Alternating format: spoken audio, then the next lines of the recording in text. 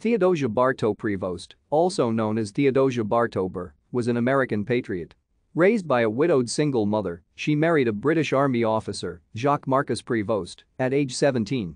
After the American Revolution began, her own patriot leanings led her to offer the use of her house, the Hermitage, as a meeting and resting place for revolutionaries, including Alexander Hamilton, the Marquis de Lafayette, and Aaron Burr. It was briefly used as the headquarters of George Washington, who counted her amongst his friends. Burr's visit to the Hermitage began a secret romance that, following the death of Prevost's first husband, led to marriage. The couple moved to New York City due to Burr's legal practice, and she acted as a crucial ally and confidant as he began his political career.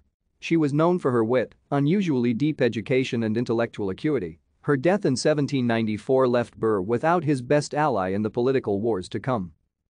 Theodosia was born in November 1746 to Anne Sands Stillwell and Theodosius Bartow, an attorney, in Shrewsbury Township, New Jersey. Thank you for watching.